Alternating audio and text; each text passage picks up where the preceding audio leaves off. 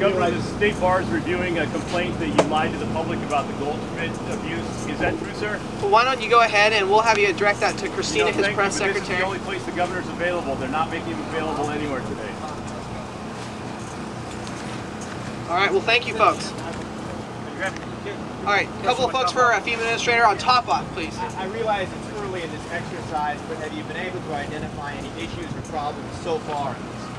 Uh, from what I've what I've seen personally here, I haven't seen any major issues.